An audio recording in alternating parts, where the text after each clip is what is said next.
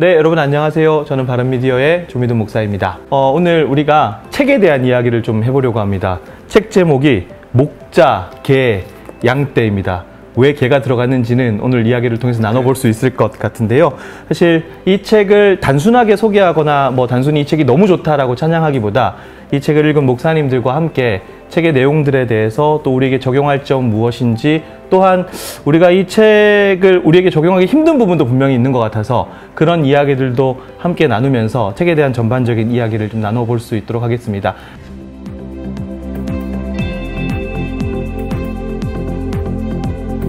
함께 해주실 패널 분들이 계신데요. 각자 소개 부탁드리겠습니다. 안녕하세요. 그 사랑교회 섬기는 고상섭 목사입니다. 네, 안녕하세요. 행신침례교회 섬기고 있는 우성규 목사입니다. 반갑습니다. 네, 안녕하세요. 저는 나눔교회 섬기는 조영민 목사입니다. 쌤도 혹시 책을 보셨는데 원제는 The Care of Souls, 그러니까 영혼 돌봄인데 사실 출판사 입장에서 생각해봐도 영혼 돌봄이라고 해놓으면 책을 아무도 안 살 것 같거든요. 네. 그래서 이제 아마 목자, 개, 양떼라는 제목으로 좀 나온 것 같은데 이 책 제목에 대해서 좀 짚고 넘어가야 될 것 같아요. 그래서 책 제목을 좀 받아보신 소감들이 어떠신지 좀 말씀을 해주시면 좋을 것 같다는 생각이 들거든요. 처음에는 목자, 개, 양떼라 교회 안에는 양떼가 있고 개가 있다라는 뜻인가? 아. 아, 뭐 그렇게 좀 생각을 좀 했었고요. 그래서 읽어보면서는 목회자가 목자의 마음에 신경을 쓰면서 또 양떼를 인도하는 그런 목양견이 돼야 된다라는 것이 너무 좋은 인사이트였는데 목자 개 양떼 이렇게만 써 있으니까 무슨 말인지를 잘 몰라가지고 책을 좀 구입하기가 좀 쉽지 않지 않을까. 우리는 목양견입니다. 뭐 이렇게 좀 했으면 조금 더 이해가 되지 않을까 이런 생각 좀 했었습니다. 예. 그래서 제가 이 책의 제목이 나오는 behind story를 좀 들었거든요. 처음에 브레인스토밍 하시면서 제일 먼저 나왔던 게 출판사 입장을 들어보니까 개같이 목회해야 된단가? 그런 것부터 시작해서 뭐 이런저런 과정을 거쳐서 순화시켜서 목자 개 양떼가 나왔다. 이게 순화된 버전이라고. 네, 라고 하는 behind story 이야기를 좀 듣기는 했습니다. 네. 옛날에 그 개 같은 내 인생 뭐 이런 영화도 있었던 것 같은데 그냥 개 같은 목사 뭐 이렇게 나와야 될 것 같고. 근데 저는 이 제목이 전체 내용을 포괄하지 못한다라는 생각이 제일 많이 들었어요. 그러니까 처음에 제목 자체는 이- 이렇게 끌려가지고 좀 읽게 됐는데 읽다 보니까 이 목양견이라고 하는 개념만 나와 있는 게 아니라 다양한 개념들이 있는데 그 중에 한 개념에 너무 집중해 있는 게 아닌가.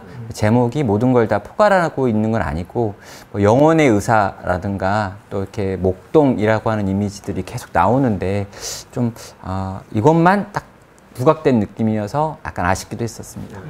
저는 일단 제목이 좋았어요. 왜 좋았냐면 이런 제목이 처음 본 거예요. 그러니까 어떤 경건서적이라든지 신앙서적이라든지 목회자 대상으로 하는 책이 좀 제목 자체가 좀 발칙한 느낌이 딱 들고 그 다음에 표지가 전 디자인을 좀 많이 보는 편인데 양이 있고 뒤에 개가 있고 교회가 있- 있어서 굉장히 좀 끌리는 디자인이었어요. 그리고 책 자체의 그 색, 색감도 되게 좋고 그립감이 좋아서 일단 저는 읽고 싶은 느낌이 드는 제목이었고 개가 들어가서 그래 이거 뭐 이제 내가 개라는 얘긴데 그러면 어떻게 풀어가는가? 이 부분이 좀 신선했고 사실은 한국교회 토양에서 목자 장이신 예수님을 대신해서 교회를 목양하는 목자 느낌을 많이 갖고 있잖아요 목사님들이. 근데 여기는 지금 이제 개라고 표현하는 거라는 느낌이 들어서 아까 고 목사님 말씀하신 것처럼 그 목자장 목자이신 예수님과 성도 사이를 오가는 개의 이미지가 딱 떠올라서 딱뭔 얘기를 하려고 하는지는 알겠다 이런 생각이 들었고 조 목사님 말씀처럼 읽다 보니까 어 이, 이것만은 아닌데? 이제 뭐 그런 느낌은 저도 들었던 것 같습니다. 낚시를 하는 데는 성공한 것 같아요. 네, 네. 제가 페이스북에 이 책에 대해서 소개를 했더니 댓글에 어떤 목사님이 자기는 이 책 나오기 전부터 자기를 개 같은 목회자다 이렇게 소개를 했다 그러더라고요.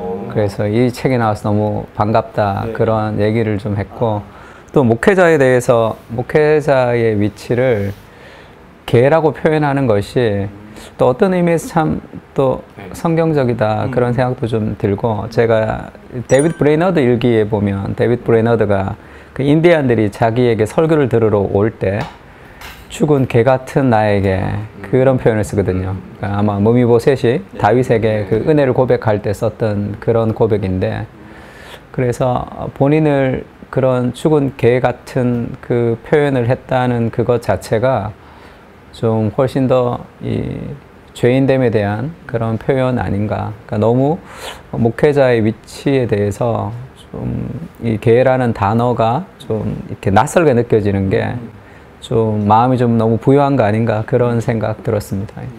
옛날에 이거 이거랑 좀 다르긴 하지만 천국의 사냥개라는 표현도 있었잖아요. 네, 그런 표현도 생각나고. 네, 저는 컨텐츠를 만드는 사람 입장에서 유튜브 컨텐츠 같은 거 보면은 제일 중요한 부분만 딱 뽑아가지고 제목을 쓰기도 하는 경우들이 있지 않습니까? 좀 아니면 좀 자극적인 부분이라든가. 그래서 저는 이 제목을 보면서 아, 출판사에서 제일 중요하게 생각했던 부분인가? 이런 생각은 조금 하게 됐던 것 같고 다만 이제 개 목양견이죠. 아, 라는 개념을 소개하는 측면에서는 이해됐는데 종민 목사님 말씀하신 것처럼 책의 전체 내용을 담기에는 조금 모호한 개념은 어느 정도 있었다라는 생각이 들고 저는 오히려 반대로 부재 있잖아요. 성도가 바라는 목사.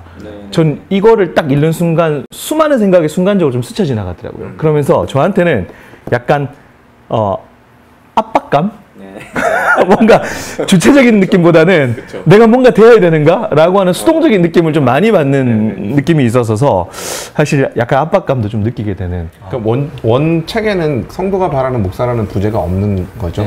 이것도 낚시, 낚시. 예. 없답니다. 네, 없는 거죠. 예, 예. 그러니까 목사들만 읽지는 않고 성도들도 읽기를 바라는 그렇죠, 그렇죠. 한 줄을 넣어놓은 거야. 이걸 읽으면서 아 우리 목사님 약간 이런 느낌. 어, 아, 우리 목사님 이랬으면 좋겠다. 네, 네, 뭐 네. 선물로 사드려야겠다. 아, 이런 느낌이. 제가 이걸 바랍니다라고. 어, 어.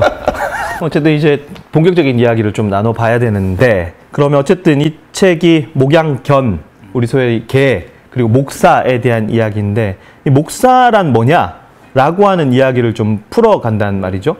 그러니까 목사는 이런 존재야. 우리 아까 영상을 찍기 전에도 얘기했지만 사실상 논리적 전개를 하고 계시진 않는 것 같아요.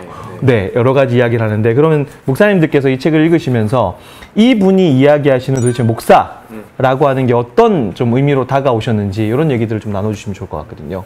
네, 그러니까 저는 이제 요 책에 보면은 기본적으로 요 책에서는 이미지들을 가지고 계속 목사란 이런 거다라고 하는 걸 보여주는데 이제 제목에 나와 있던 것처럼 목양견이라고 하는 이미지도 굉장히 강력한 이미지고 또 영혼의 의사라고 하는 개념도 굉장히 강한 것 같고 또 하나가 이제 어, 정말 간의 수공업을 하고 있는 이런 작은 규모의 어, 목동 같은 이미지도 계속해서 가축들을 알고 가축들을 돌보는 전문적이지 않은 그러나 어, 정말 가족처럼 돌보고 있는 어떤 이제 목자의 이미지, 목동의 이미지도 계속해 살리고 있어서 이제 목사란 뭐냐라고 할 때 이제 이런 이미지들을 종합해 가지고 그런 습성을 가지고 영혼들을 돌보는 사람을 목사다라고 이야기한다라는. 그래서 이게 어, 정확한 개념을 가지고 말씀하는 게 아니라 계속 다양한 이미지들을 사용하기 때문에 이게 좀 정리가 잘 안 되지만 느낌은 굉장히 아, 좋다라는 생각이 들었어요. 아 이런 게 목사구나라는 느껴지는 것 같아요. 사실 기존의 방식하고는 좀 다른 것 같아요. 그러니까 딱 정의를 내리고 그 정의에 따라서 막 가야 되는데 말씀하신 것처럼 그런 방식은 아니었으니까 혹시 목사님 또 저는 사실은 이제 이 목사란 누구인가라고 제목이 나오고 뒤에 쭉 전개를 하지 않습니까? 근데 정의가 어디 나오는 거지? 이제 그런 생각을 하면서 읽었는데 근데 읽다가 보니까 목사란 무엇인가라는 내용이 되게 뭔- 뭔가 많은 걸 포괄하고 있는데 이 사람이 처음에 이분이 차용하는 내용이 이제 바울이 나는 예수 그리스도 말, 말고는 십자가 말고는 알지 않기로 관심 두지 않기로 하겠다 하면서 사도 바울이 굉장히 현대인이고 당시에 고등 교육을 받은 사람임에도 불구하고 많은 사람들과 교류할 수 있음에도 불구하고 아예 예수께만 집중을 하는 이유가 예수 그리스도 안에서 그분과의 교제 안에서 끊임없이 공급되는 어떤 아, 지, 지적 그리고 정서적 그리고 친밀감 이런 것들이 목사 안에 계속 공급됐을 때 돌봄이 가능하고 그리고 그 거기서 파생돼서 어떤 복음을 선포하는 설교와 성례전까지를 연결시키잖아요. 저는 목사란 누구인가라는 챕터를 쭉 읽으면서 그 얘기가 책 전체라는 생각이 들었어요.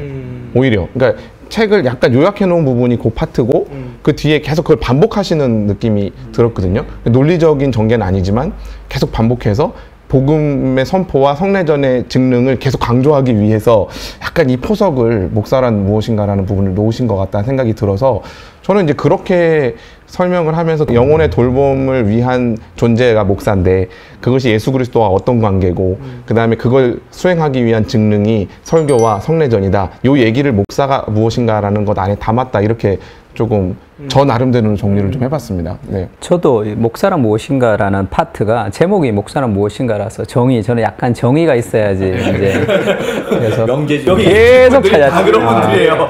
네. 계속 찾았는데 명확하게 이제 목사가 무엇이란 얘기를 한 줄로 설명을 해주지는 않는데 그나마 제가 이한 줄로 좀 정리가 돼야지만 그 다음에 나갈 수 있을 것 같아서 억지로 정의를 한 것은 고린도전서 1장 4절에 보면 그 마땅히 우리를 그리스도의 일꾼이고 하나님의 비밀을 맡은 자라는 그 정의를 가지고 그리스도의 일꾼이다. 그 다음에 하나님의 비밀을 맡은 관리인이다. 이제 그렇게 이제 설명을 하는 걸 보면서는 여기서는 왜 성육신을 많이 얘기하잖아요. 그러니까 말, 하나님 말씀이신데 그 말씀이 육신을 입고 이 땅에 오셔서 그리스도의 제자들과 사귐이 있는 그 성육신을 굉장히 강조하는 걸로 저는 하나님의 비밀을 맡았다라는 그것과 그리스도의 일꾼이라는 것이 그러니까 우리도 그리스도와 교제하면서 목회자라는 것이 말씀을 전달하는 사람이 아니라 성육신, 그러니까 목회적 돌봄이라는 목회적 삶을 통해서 복음을 보여줄 수 있는 그런 사람으로 그 영혼의 돌봄이라는 것을 계속 어 이렇게 강조하는 거 아닌가 그런 생각이 좀 들어서 너무 좋지만 또 좀 부담스러운 좀 그런 정의였습니다.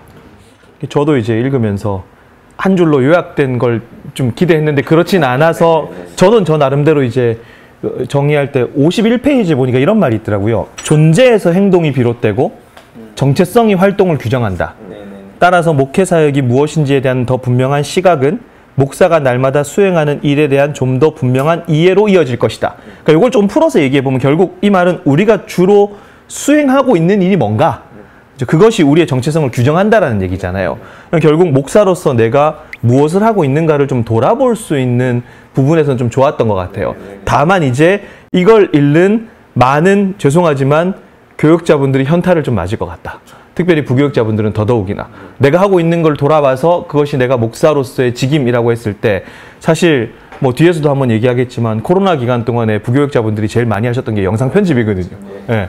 그럼 그런 것들 할때 그럼 도대체 목사가 하는 게 뭘까라고 하는 것들에 대한 현타. 그래서 현실과 본질 사이에서 늘 그렇잖아요. 오히려 코로나가 가속화시킨 그런 상황에서 다시 한번 우리의 정체성이 뭔가라고 하는 것을 좀 숙고해 보는 부분에서는 조금 어, 좋았지 않았나.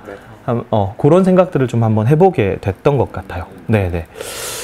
이분이 이제 목회자에 대한 이야기를 하면서 서두에서 제일 강조하고 있는 게 습성이잖아요. 습성이라고 표현하는데 사실 우 목사님께서 그런 얘기 하셨잖아요. 습성이라고 하는 부분에서 좀 많은 insight를 얻으셨다라고 얘기를 하셨는데 그 부분에 대한 이야기를 좀 한번 해주실 수 어, 있을까요? 저는 사실 이제 이분이 보니까 50년을 현직에 지금도 계신 것 같고, 그러니까 목회도 하셨지만 또 신학교 강단에도 계셨고 센터에 계시면서 영혼 돌봄을 집중적으로 하기도 하셨잖아요 말년에는. 근데 그런 이력들을 보면서 일단 50년을 목회라는 거, 영혼 돌봄이라는 걸 해왔다는 거에 그냥 그 자체로 리스펙이 되더라고요. 음, 그러니까 이 책을 딱 집어서 읽으면서 뭔가 굉장히 이, 부, 의 분야에 목사님이 덕담을 해주시는데 야 이거는 새겨 들어야 돼. 정리는 우리가 해야 되지만 일단 기본적으로 좋은 얘기가 나오, 나오겠구나라는 감동이 있었는데 그 중에 습성이라는 단어가 굉장히 임팩트가 있었어요.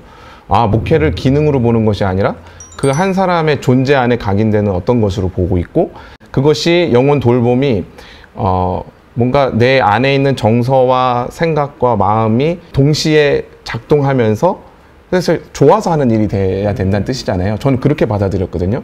이게 내가 영혼 돌봄을 했을 때 너무 그게 감사가 나오고 기쁨이 나오고 성도들이 살아나는 걸 보면서 내, 나도 살아나고 그리고 그게 이제 주님의 일이니까 내가 주님의 일을 충실히 한다라는 것에 대한 또 어떤 뭐랄까요 주님 앞에서의 감격도 있고 이런 것들이 습성 안에 다 들어가 있는 단어 같아서 이분의 어떤 습성이라는 단어가 저한테 insight가 됐어요. 그래서 아 그래 내가 이 부분이 아직 안 돼 있구나 잘. 그러니까 언제는 갑자기 자연으로 돌아갔다가 뭔가 나의 스트레스를 푸는 어떤 건 따로 있어야 돼. 뭐 축구를 한다든지 영상을 본다든지 게임을 한다든지 그런 건 있어야 되고 다시 충전해서 하나님 앞에 나와서 다시 성도들을 목양하는 일을 해야, 해야 되는 그런 상태에서 이건 아니 아직 내가 습성이 좀 덜 됐다 이런 생각들을 가지게 되면서 저는 이분의 목소리를 좀 귀 기울여 들어야겠다 이런 생각들을 좀 했던 것 같아요 이 앞부분에서 보면서 네. 그런 측면에서 이제 두 분은 어쨌든 뭐 그 목회 활동을 하신 기간들이 계속해서 쌓이시면서 이런 습성들이라고 하는 것을 좀 교회 목회 현장에서 좀 어떻게 느끼셨는지가 좀 궁금해지거든요. 그 저는 이게 습관이라고 번역하지 않고 주로 습관을 많이 얘기하잖아요. 네네. 습성이라고 이제 헤비투스를 습성이라고 번역했는데 저는 그게 어, 정말 좋은 번역이다 생각이 들었고요. 습관은 그냥 행동을 하는 거잖아요. 근데 습성이라는 그게 행동이 이제 기질화돼, 인격화되어서 내 안에 어떤 그래서 저는 이 습성이라는 이 단어를 attitude를 지금 그렇게 얘기하시는 게 아닌가. 그냥 그게 삶의 어떤 자세와 태도로 지금 이렇게 되어 있는. 저는 이 습성이라는 단어를 보면서 제가 55페이지에 그 나오는 말 중에 타협을 위한 실제적 습성은 가운데 보면 결코 완전히 숙달할 수 있는 게 아니다. 이렇게 얘기하고 이 실제적 습성은 목사가 그리스도인으로서 무언가를 계속 받아서 다른 이들에게 가져다 주는 평생의 과정을 통해 습득, 습득 된다라는 이 구절이 굉장히 마음에 와닿았는데요. 이게 내가 어떤 좋은 목사가 되기 위해서 뭔가 노력을 많이 해야 된다는 그런 개념보다 받아서 나눠주는 과정. 그러니까 그 내가 하나님의 은혜를 받아서 그러니까 예수님이 나를 어떻게 인도하시는지를 깊이 경험하고 그것을 내가 다른 사람에게 나눠주는 그런 이 유통의 과정을 통해서 그것이 나도 모르게 내 안에서 어떻게 변화되는 그런 하나의 인격 같이 그렇게 에, 되는 것이라 어, 그 그리스도께 더 받고 그리, 내가 그리스도에게 어떤 존재인지에 대한 그런 자기 정체성에 대해서 더 관심을 기울이게 되어서 그러니까 이 습성을 가지고 좋은 목회를 해야 된다 그러면 내가 뭔가를 해야 된다는데 관심을 많이 기울이는데 내가 받아서 나눠주는 과정 속에서 이것이 형성되는 것이라면 내가 하나님 앞에서 받는 과정을 더 어, 집중해야 되지 않을까. 그런 어떤 개념을 좀 바꿔주는 것이라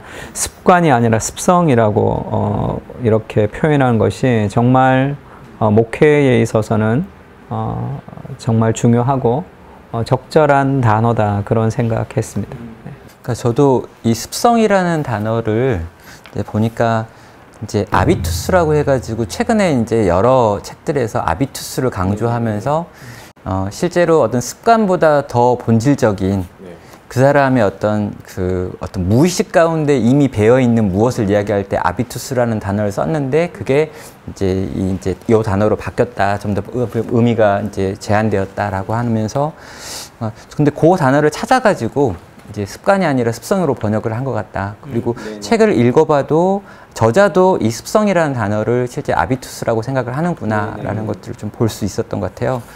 또뭐 이게 무슨 연습이나 훈련이나 이런 과정으로 만들어지는 게 아니라 그 사람의 본질 가운데 이미 무의식 가운데 배어 있는 무엇으로 이제 이야기하는데 와 저는 요거 굉장히 큰 위로를 받았던 것 같아요. 아 목사는 이런 거구나. 존재 자체가 이것들을 즐거워하고 기뻐하는 사람이 되는 거. 근데 요 이야기가 저는 이후까지 계속 나오는 것 같아요. 그래서 저는 약모르게 나중에 이야기할 때 어, 내가 어, 목자의 음성에 반응해서 목자의 뜻대로 행하고 있다면 그 결과의 부분에 있어서 되고 안 되고는 내 영역은 아니다 라고 말할 때도 아 목자의 음성에 충실한 목양견이라면 목자한테 충실했으면 그 결과에 대해서는 자유할 수 있다라는 게 코로나 요 시기를 살아가면서 마음이 힘들고 어려워진 목회자들이 굉장히 많은데 이게 저한테 위로가 되겠다는 생각이 들어요. 또 현실적으로 후기 기독교 사회에 넘어가면서 점점 더 목회하고 목양하기 어려운 때 눈에 보이는 결과가 뭐 부흥이라고 하는 수적인 증가로 나타나지 않는 시기를 살아가는 이들에게 어, 목회는 습성입니다. 라고 말하는 요 표현 하나가 결과가 아니라 요 과정에 대한 그리고 우리 존재를 변화시킨다 라고 하는 측면을 봤을 때 굉장히 위로였다라고 굉장히 요 부분 너무 좋았어요. 아, 제가 위로를 받았습니다. 저도 이걸 보면서 무슨 생각이 들었냐면 어, 그런 질문을 할 수 있는 거죠. 그럼 한국적인 이 교회 상황에서 우리가 목회적 습성을 계속해서 만들어 가야 되는 이 상황 속에서 뭘 할 수 있지? 이런 생각들. 이게 또 연차마다 또 막 많이 다를 것 같아요. 저는 기관 사역을 하는 입장이고 또 담임 목회들을 하시는 입장이고 담임 목회 하시면서 또 기간들이 또 다 다르시잖아요. 그런 상황에서 이, 이분이 이야기하는 그 목사라고 하는 그 존재가 가지는 습성이라는 것을 좀 한국적 상황에서 한국 교회 상황에서 어떻게 좀 개발해야 되는가, 만들어 가야 되는가. 물론 이렇게 하면 성취하는 거 아니라고 얘기하니까 하지만 익히는 건데 어떻게 익힐 수 있을까에 대한 고민들 좀 많이 했거든요. 이 진정한 습성에 대해서 정의를 해요. 마지막에 습성의 부분 파트에서 우리가 수행받도록 부과된 모든 일을 수행하면서 우리 자신이 주님이 우리를 통해 주님의 일을 수행하도록 부른 도구에 지나지 않는다는 것을 깨닫는 것이 진정한 습성이라고 하셨어요. 그러니까 이게 그러면 아비투스로 우리 안에 부여되는 거면서 선물로 근데 또 하나의 수행하는 어떤 직능인 거예요. 그렇다면 어, 전 종합을 하, 기를 이렇게 한 거예요. 목사가 수행하는 고유한 직능 안에 그걸 지속적으로 수행할 때 형성되는 아비투스가 있는가? 이제 이 질문인 건데 저는 이제 성례전에 대해서는 잘 모르겠는데 설교는 그런 것 같아요.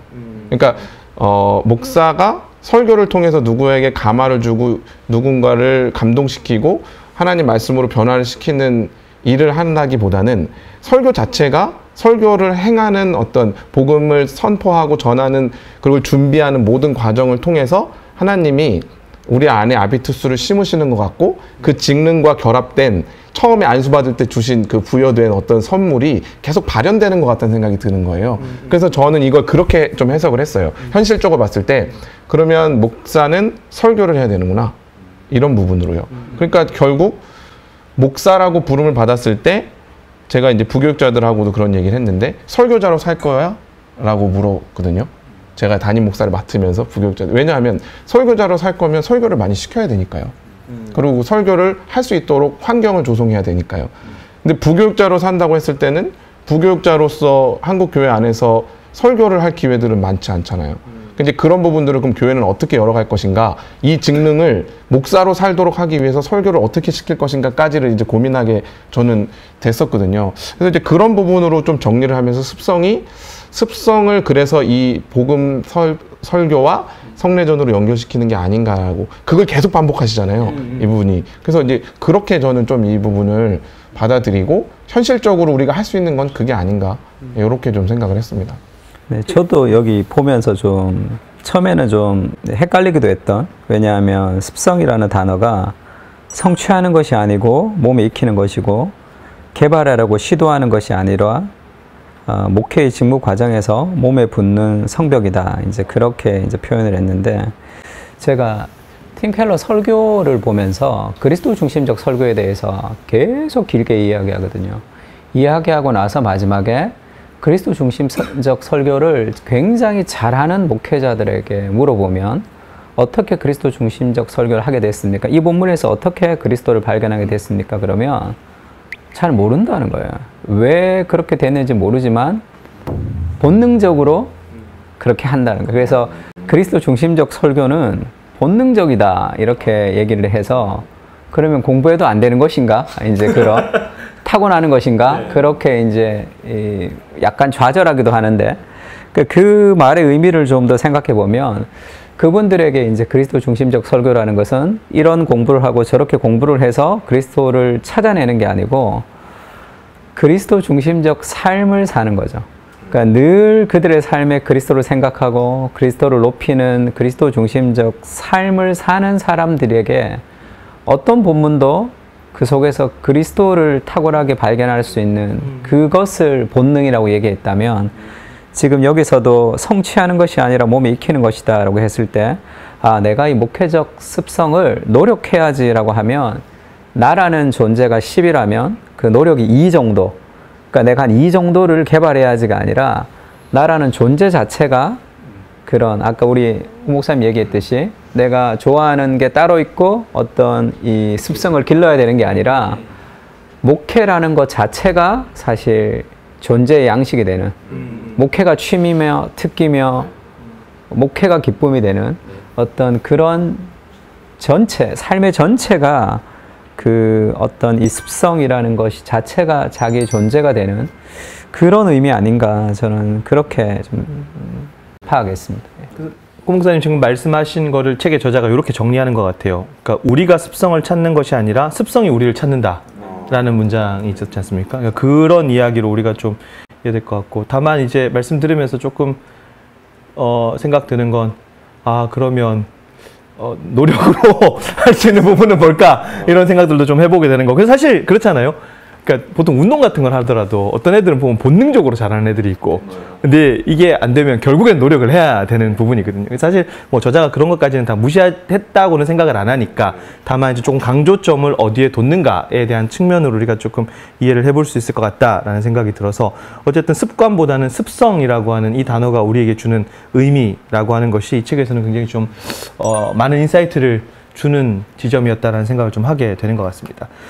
어쨌든 그러면 이 저자가 이제 목회자가 뭐냐, 목사가 뭐냐, 그리고 이제 목사가 가져야 될 습성이 뭐냐 이런 얘기를 하면서 결국에는 이 책의 주제가 이제 어, 영혼 돌봄, 돌봄으로 나아가는데 어, 사실 여기서 우리가 신학적 차이를 조금 발견할 수 있는 게 여기는 Lutheran 신학자이기 때문에 지금 이제 침례교회시고 또 장로교단들이시고 하다 보니까 어, 해결책으로 이제 계속해서 성례전에 대한 이야기를 많이 한다는 그러니까 그, 그 지점은 사실 읽으면서 저도 이제 무슨 말인지는 알지만 이게 우리 가운데 어떻게 적용될 수 있지? 물론 복음의 영역은 또 다르겠지만 이 복음과 성례전이라고 하는 것을 교회 환경에서 좀 어떻게 적용을 할 수 있는 것인가라고 하는 것은 좀 실천적 차원에서 우리가 좀 이해를 해봐야 될 것 같다는 생각이 들거든요. 그래서 이런 부분들을 좀 어떻게 보셨는지. 어쨌든 책이 우리한테 말하는 해결책, 이 복음과 성례전이라고 하는 것이 우리의 삶에서, 우리 목회 현장에서 좀 어떻게 구체적으로 발현되고 적용될 수 있는가.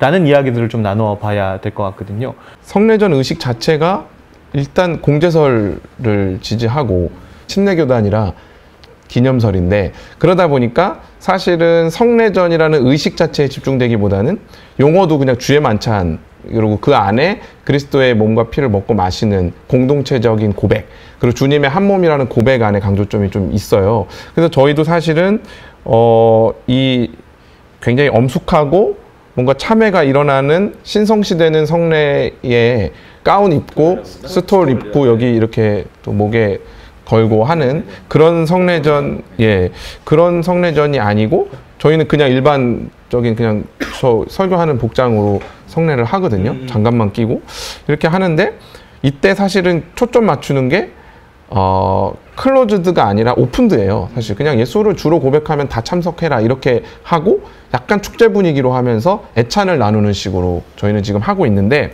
그러다 보니까 성도의 교제 안에서 그냥 주님의 몸이 찢기면서 하나가 됐음을 고백하는 거고 그래서 서로가 좀 용납하고 너그러이 품는 공동체로 다짐하는 시간 같은 느낌이에요. 그래서 저희는 어, 실제로 저한테 있어서 이 성례전의 적용은 성도들하고 밥을 많이 먹는 겁니다. 실제로.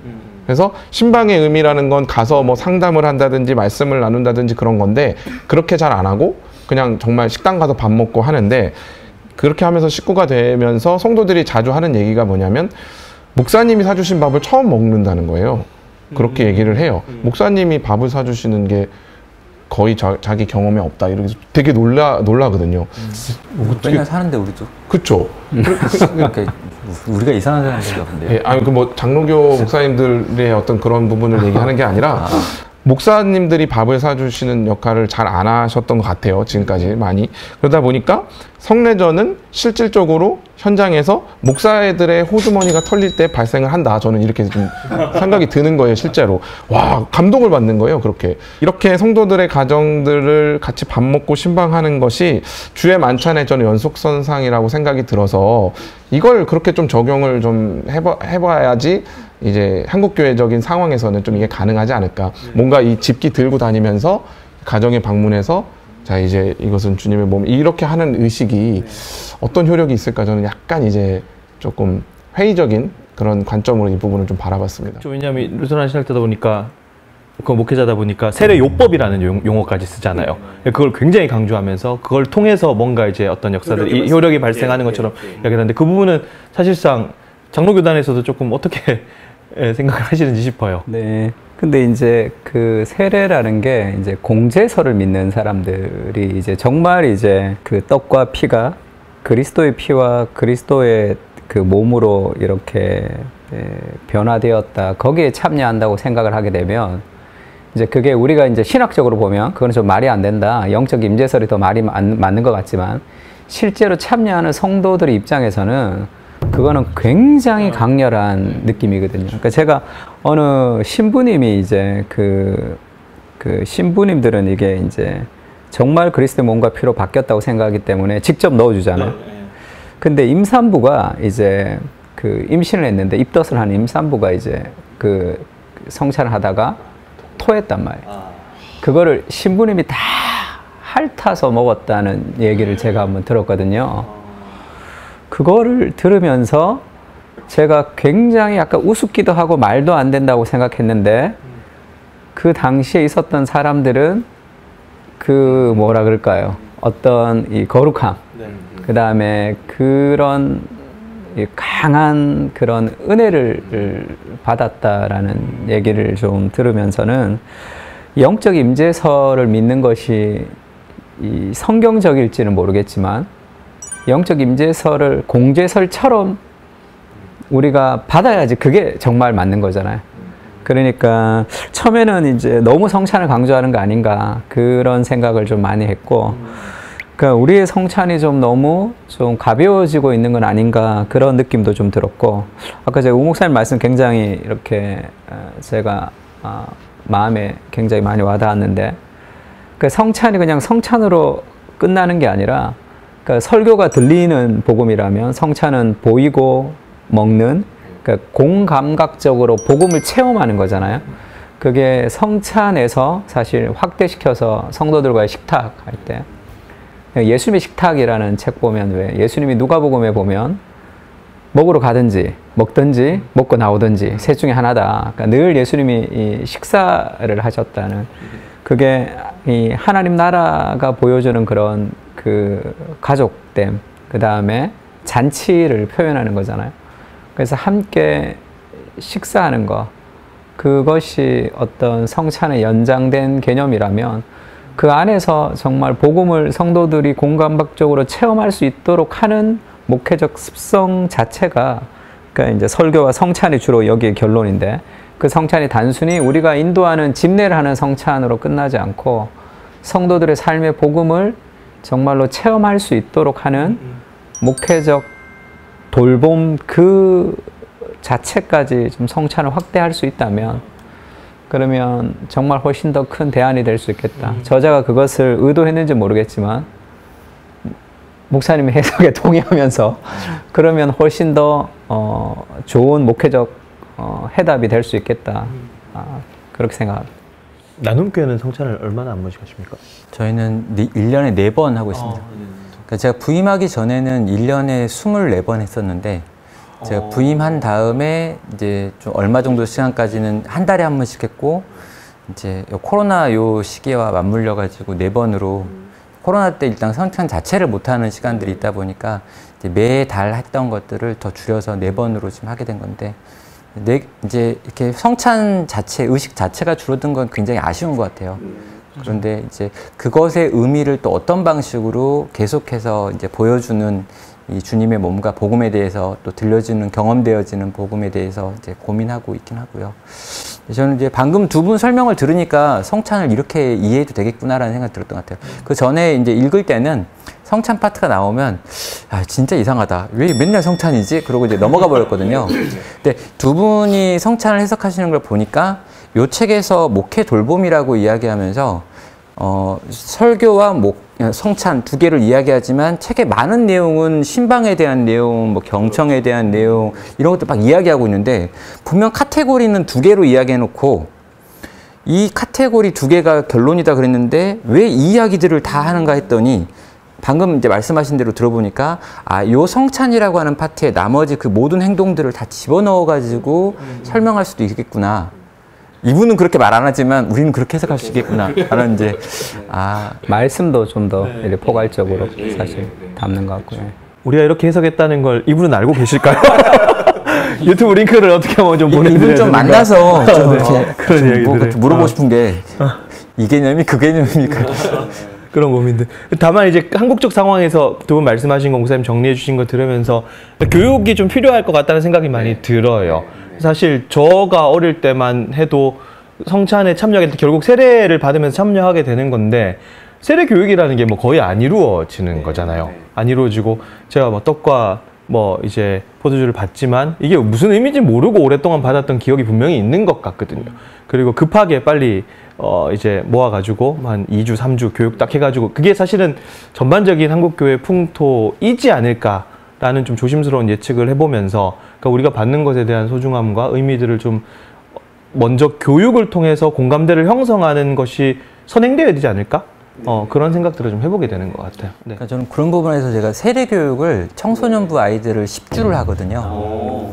10주 동안 정말 차근차근 하고 중간에 안 되는 애들은 요번 번은 안 되겠다 해서 꽈라까지 시키면서 하는데 제가 그렇게 이제 저희 뭐 청소년부 사역자가 이제 그걸 굉장히 중요하다 생각하니까 이제 그렇게 한 건데 그렇게 하고 세례를 준 줬더니 아이들이 세례식에서 막 통곡을 하는 거예요. 간증문을 다 써가지고 이제 낭독하는 시간이 있는데 정말 아, 내가 그리스도인이 되었다는 것과 죄인이었다는 거 그리고 이렇게 내가 온 교회 앞에서 성도가 되었다는 게 얼마나 큰 기쁨인지를 그 중학교 3학년, 중학교 2학년, 고등학교 1학년 애들이 고백문을 작성해 가지고 앞에서 읽는데 아, 모든 성도가 다 그 앞에서 감격을 하는 거죠.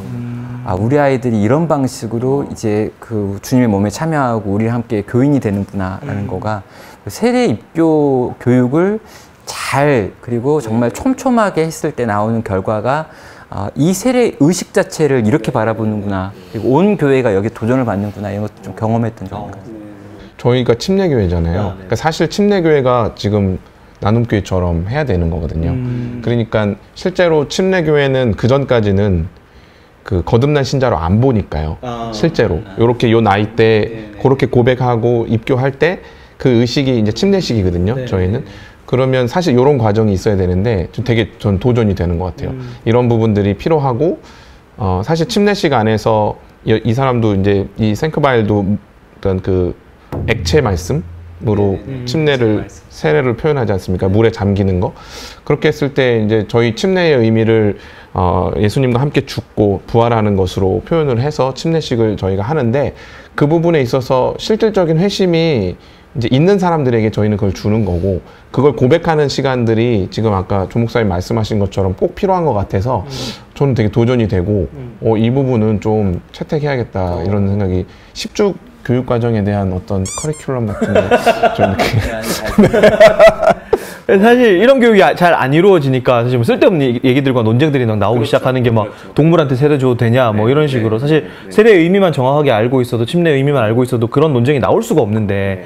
그렇게까지 하고 사실 영국 성공회 같은 경우는 신학적으로 검토까지 하겠다 이런 얘기까지 나왔었으니까 사실은 조금 고민이 되는 지점인 것 같아요. 예, 예. 아무튼 그러면 이제 다음 얘기를 좀 계속해서 이어가 보면 요 고상선 목사님이 한번 말씀 좀 주, 주시면 좋을 것 같은데 어쨌든 고상선 목사님 하면 한국 교회에서 지금 두 가지로 대변이 되거든요. 제자 훈련 그리고 팀 켈러 이렇게 되는데 이게 결국 영혼 치료라고 하는 지점과 제자 훈련이라고 하는 것에 대한 관계성에 대한 고민들을 좀 제일 많이 해보시지 않았을까라는 생각이 좀 들거든요. 목사님 좀 어떠셨어요? 제가 어, 보면서는 그 뭐 좋은 점도 있었고 좀 아쉬운 점도 있었는데 그 이제 그 영혼의 돌봄과 영혼의 치료를 같이 이제 비교하기도 하고 같은 단어라고 얘기하기도 하고 영혼의 돌봄은 평상시에 어떤 돌봄이고 영혼의 치료는 좀 힘든 상황, 좀 어려운 상황에서 어떤 수술을 하는 것 같은 그렇게 이제 그 표현을 하셨고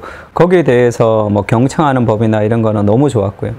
그래서 뭐 제자 훈련이나 소그룹에 있어서도 이제 그런 마음의 자세를 가지고 그렇게 영혼을 돌보고 영혼을 치료하는 과정으로 어, 목회자가 청기의 눈을 가져야 된다. 그렇게 하면서 그 사람들을 섬기는 그런 개인적 자세는 너무 도움이 많이 됐고요.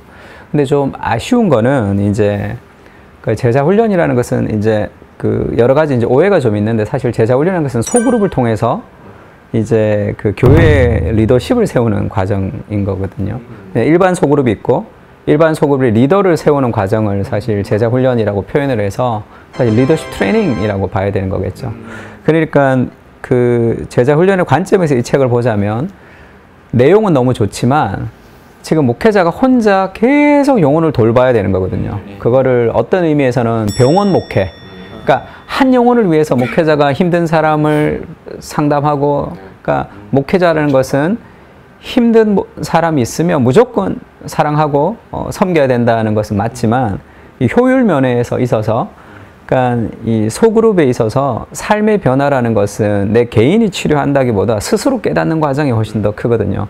그러니까 소그룹 안에 있어서 상호 교류 그러니까 그 accountability라는 상호 책임의 관계를 통해서 서로가 회복이 되는 경우가 있거든요. 그러니까 개인이 막 노력을 해서 기도를 해서 이일대일로 상담을 하고 어, 영혼을 돌보는 것도 너무 중요하지만 소그룹이라는 환경 안에서 서로가 서로에게 치유가 되는 스스로 깨닫게 하는 과정이 있으면 훨씬 더 좀 이게 효율적이 될 것 같다는 생각이 좀 들었고 그래서 한 사람 한 사람이 좀 병원 목회라면 제자 훈련이라는 것은 훈련 목회인 거잖아요. 그러니까 예방 목회, 운동을 통해서 건강하게 만드는 것이니까 이렇게 특별히 아픈 사람을 어떻게 치료해야 되는가라는 어떤 부분들은 너무 좋지만 그런 운동 목회, 예방 목회를 통해서 좋은 소그룹 리더십을 통해서 이 공동체가 함께 사람들을 섬기는 그런 좀 더 전략적인 시스템이 있으면 어, 더 좋겠다. 그래서 여기서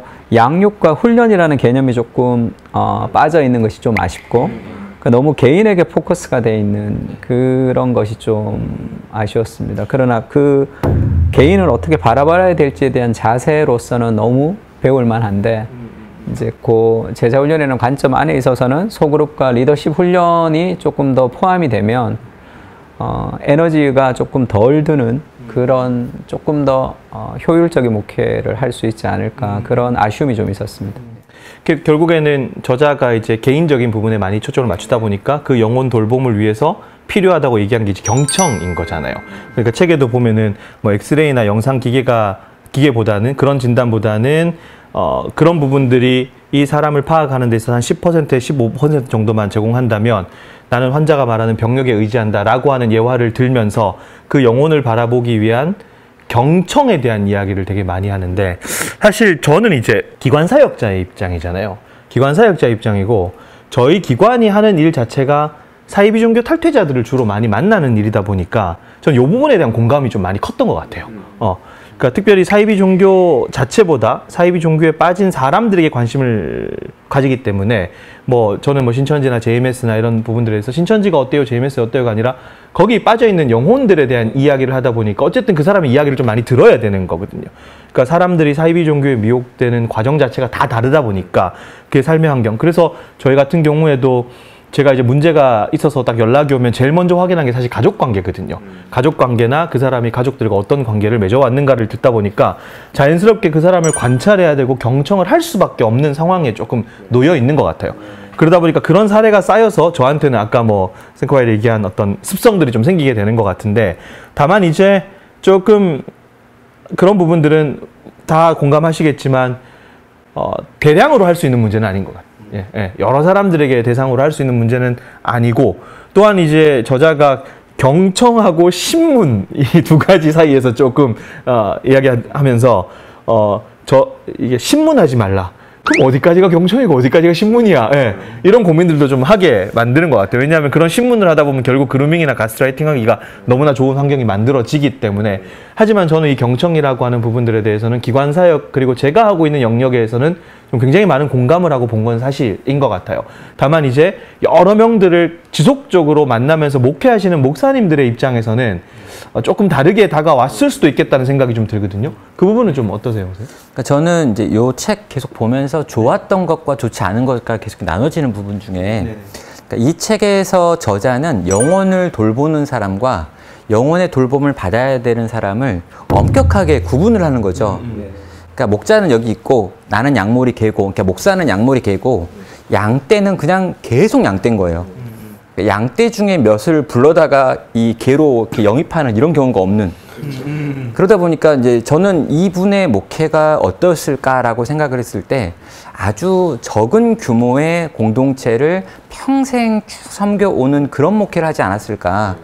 약간 이게 주치의라고 하는 개념으로 몇몇의 동네 안에 있는 몇몇, 날 때부터 죽을 때까지 다 알고 있는 몇 사람을 돌보는 어, 의사. 또 작은 숫자, 얼마 안 되는 숫자의 야- 약물이나 어떤 것들을 돌보는 목자. 그리고 그 정도 규모를 돌보는 약물이 개라고 하는 개념으로 계속 이제 설명하는 개념이 이제 커지지 않는 거죠.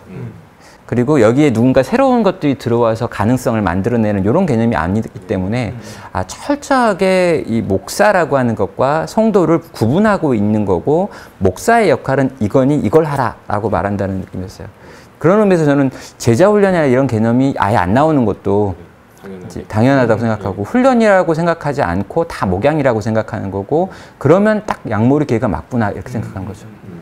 그거에 있어서는 저는 이게 한계고 아, 그거는 내- 제가 생각하는 목회랑은 좀 다르구나라는 생각이 들었어요. 저는 어, 양들을 어떻게든 양모리 계로 넘어오게 해가지고 제가 최대한 일을 덜 할 수 있는 방법을 연구하고 있는데 아 이건 이렇게 하면 저는 안 된다.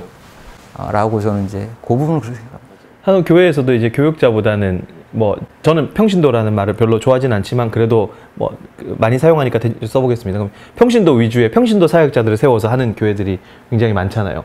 그 어떤 교회들도 보면 아예 부교육자가 전혀 없이 예 평신도들이 세워져서 하는 경우들도 있어서 그런 어떤 뭐 차이들은 조금 생각해봐야 되지 않을까라는 생각들을 좀 하게 되는데 경청 그러면 어쨌든 좀 어떠세요, 목사님 두 분은 이 경청을 좀 어떻게 받으셨어요? 저는 네, 그 지금 조 목사님 말씀하신 부분의 고민 지점이 저희 교회에 이제 작년 그 작년에 이제 온 거예요. 그러니까 실제로 그 전에는 이제 생크바일이 얘기하는 것처럼 목양을 했어요.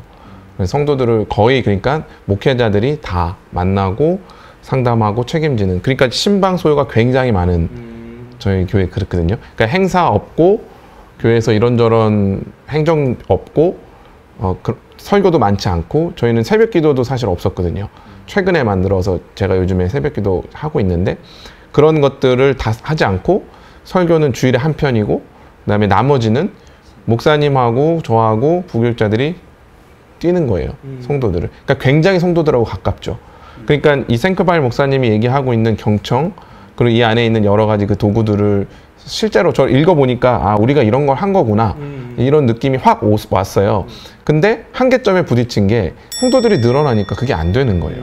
그리고 또 문제는 뭐냐면 양무리가 그 양으로 있으려고 하는 거예요.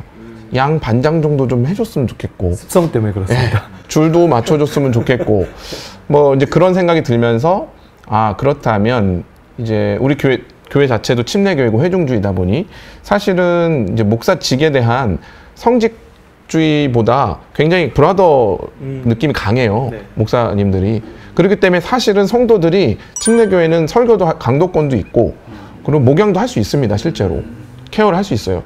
근데 이상하게 침례교회 회중주의의 좋은 점들은 채택을 하지만 목양 부분은 안 하려고 하는 성도들이 이제 있는 거죠. 그래서 고민이 되기 시작한 거예요. 이걸 어떻게 해야 되는가.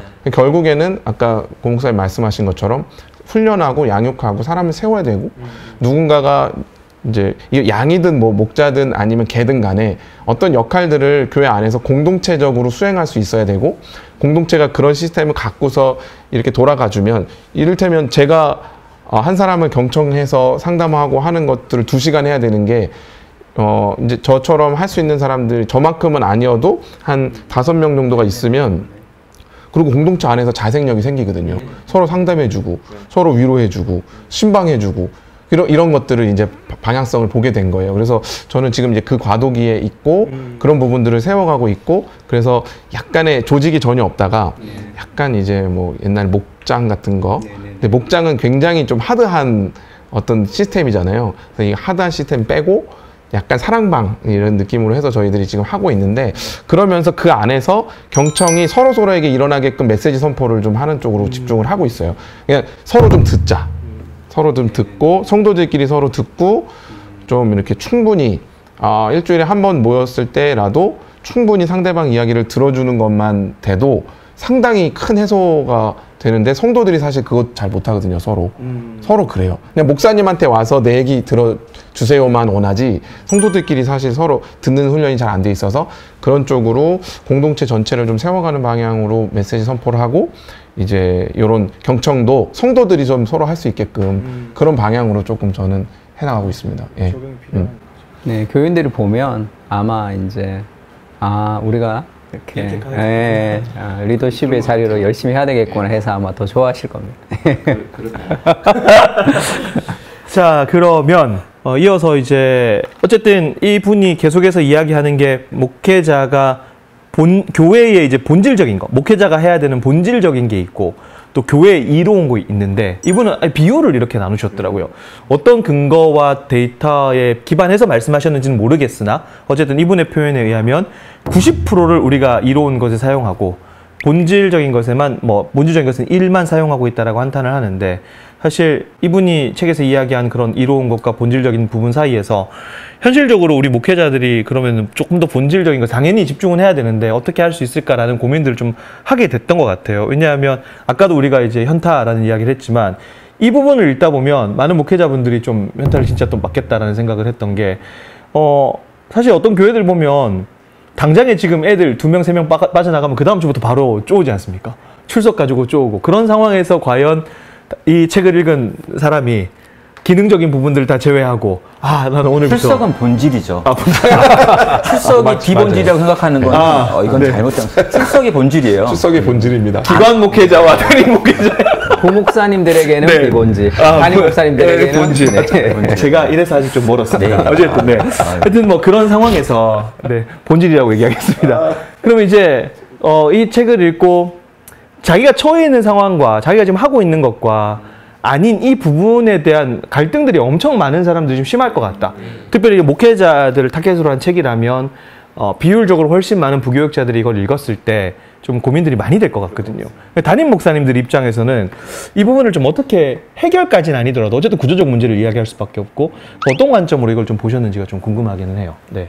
그 저는 그런 생각이 좀 들었는데 이제 이 책이 가지는 장점이 있잖아요. 근데 이 책이 사실 목회의 모든 것을 다 설명해 주는 건 아니니까 이 책은 어떤 목양의 자세와 마음을 굉장히 중요하게 생각한다면 제가 얼마 전에 읽었던 케빈 벤 호저가 쓴 목회자는 무엇인가? 아, 거기에는 이렇게만 하면 안 되고 목회자고 신학자로 열심히 공부해야 되고 이제 공공 영역에도 관심을 기울여야 되고 이제 그렇게도 얘기하고 이제 마이클 리브스가 사역하는 마음 같은 데서는 그 약간 중간 지점 정도 하나님을 즐거워하고 또 기도에 힘쓰고 이제 그런 것들이 있잖아요. 그래서 이것이 나, 내가 처한 목회 전부를 다 이제 반영할 수 없으니까 아까 우리 우 목사님 얘기 들으면서도 그 팀켈러도 그렇게 이제 교회 리더십이 교회 규모와 환경에 따라 변화돼야 된다 얘기하면서 이제 규모가 작을 때는 중심을 키워드가 이제 people 사람들을 중심으로 사실 교제하고 식사하고 그런 규모가 좀 커지면 그 다음에 프로그램이 있어야지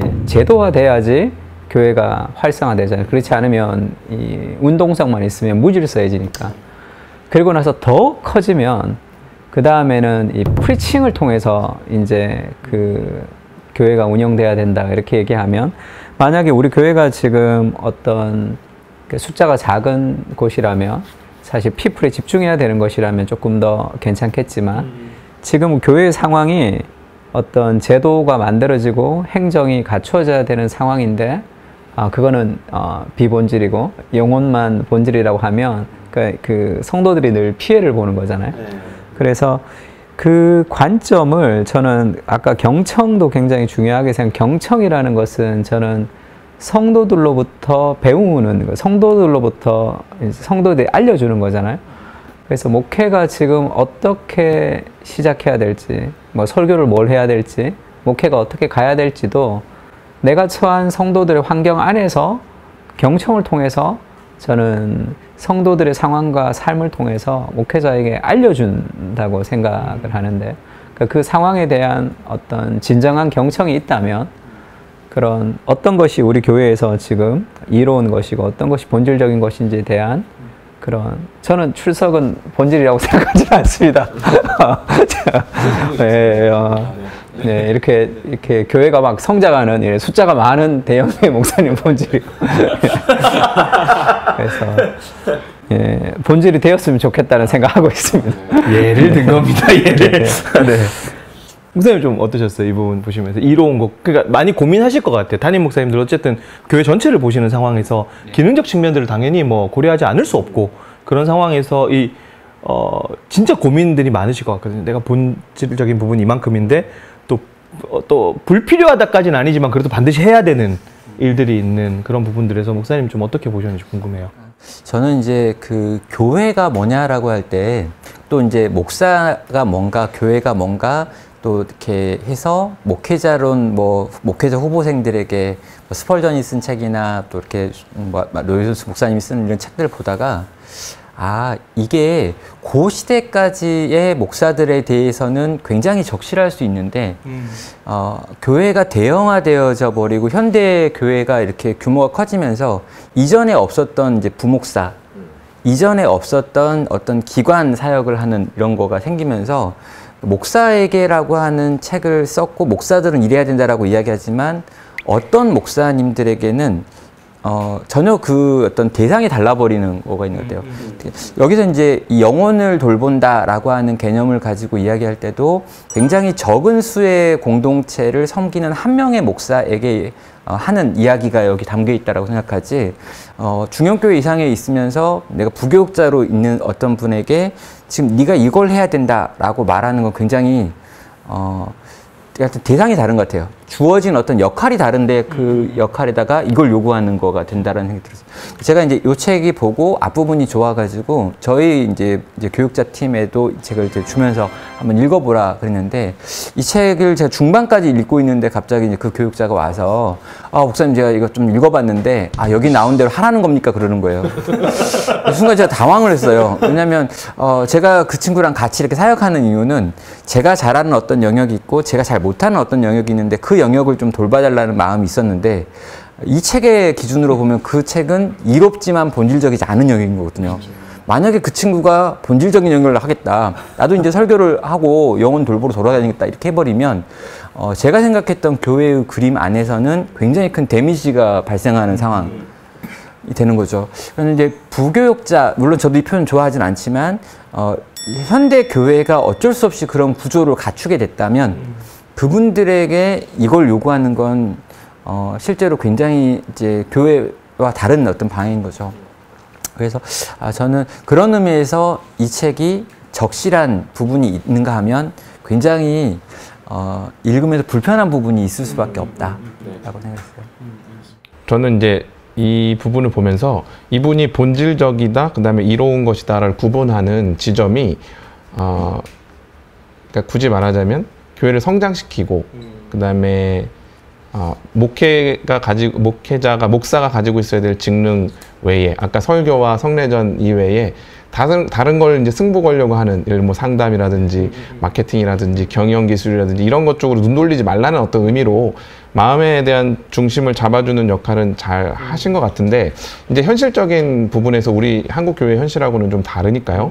근데 그런 부분에서 저는 이게 결국에는 그러면 한국 교회의 담임 목사들의 고민은 그리고 부교육자들의 고민은 이로운 것과 본질적인 것들의 차이가 사실은 교회의 성도들이 우리 목사님이 어떤 목사님 되기를 바라는가 거기에 있거든요.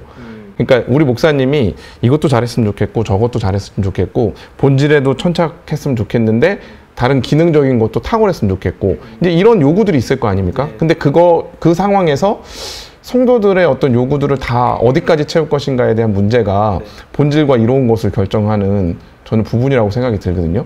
왜냐하면 본질에 천착을 하게 되면 솔직히 뭐 굳이 말하자면 로이드 존스 목사님 같은 경우에 많은 강연도 있고 설교도 있고 교회도 컸지 않습니까? 그런데도 그냥 오전을 다 뺐, 빼서 예 그냥 아침에 아예 성도들이 못 건드리게 오전 시간 점심 먹기 전까지는 집에서 나오지 않고 책을 읽거나 기도하거나 말씀 준비를 했다고 해요. 근데 이런 것들이 이제 구조적으로 가능한가?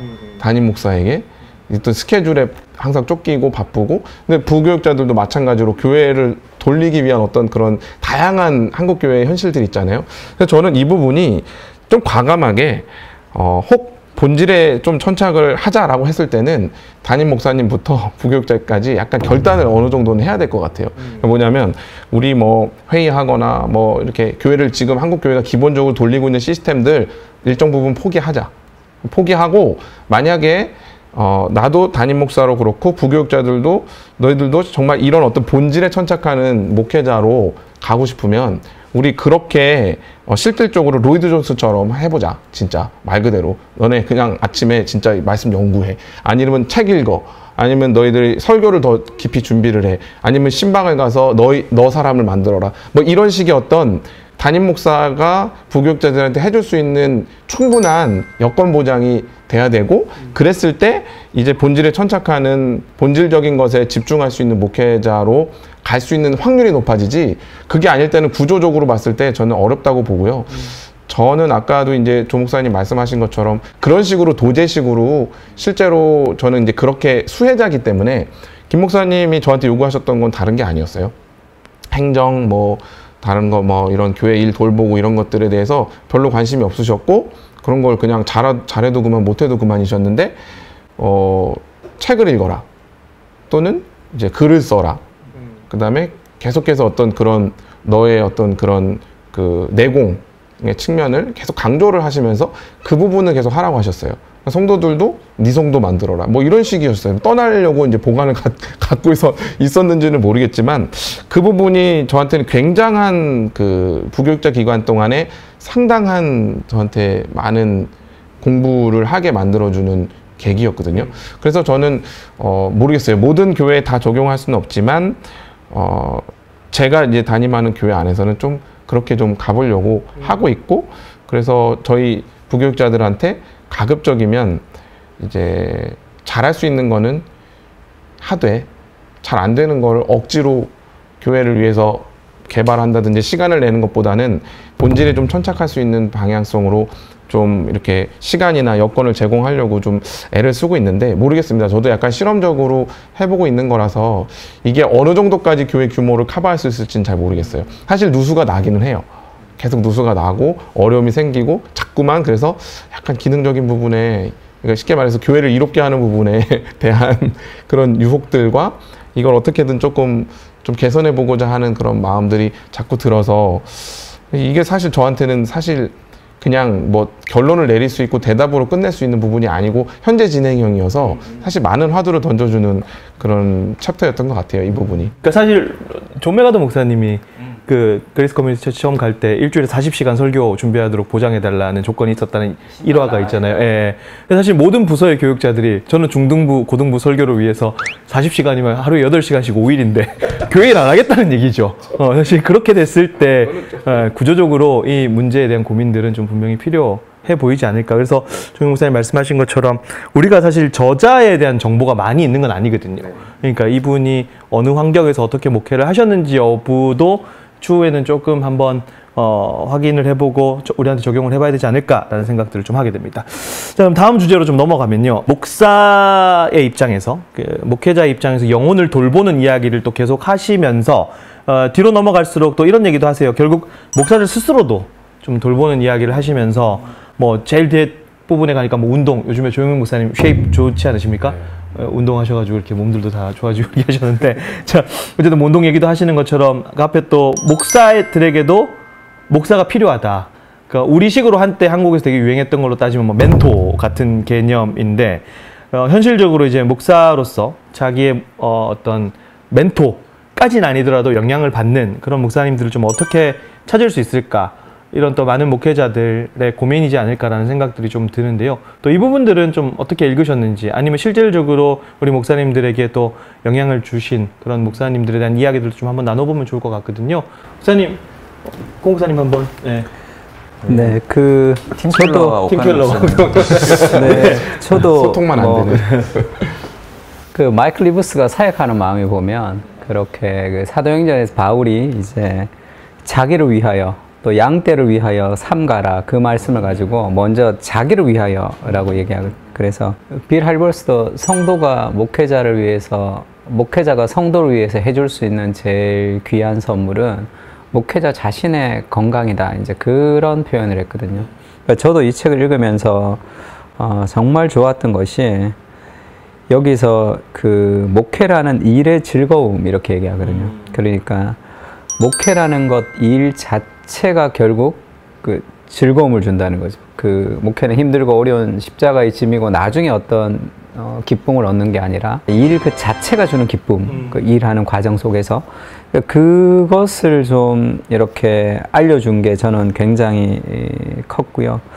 저는 뭐 오카르 목사님 영향도 많이 받았고 하지만 주위에 좋은 목회자가 내 옆에 정말 좋은 목회자에게 영향을 받는 것도 좋지만 그렇게 되지 않다 하더라도 어, 좋은 책들 저뭐 틴켈러 목사님 제가 만나보지는 못했는데 정말 많은 영향을 좀 받았고 그 다음에 그 그 이 책 보면서도 그러니까 목회라는 일 자체가 즐거워하려면 그러니까 주님 안에서 행복한 거잖아요. 행복한 거. 그러니까 저는 예전에 오카르 목사님이 자기 설교를 준비하실 때 정말 힘들게 준비해 자기를 막 갈아 넣는 것처럼 그렇게 설교를 준비하셨거든요. 그래서 루터가 했던 어, 사탄에게 설교자라는 이 직무를 좀 맡기면 좋겠다 할 정도로 그렇게 자기를 막 이렇게 진액을 빼는 그렇게 설교를 준비하셨고 근데 저는 그 안에도 좀 기쁨은 좀 있었다고 생각합니다. 그것이 뭐 힘든 일이라기보다 말씀에 대한 기쁨이 있었다고 생각하고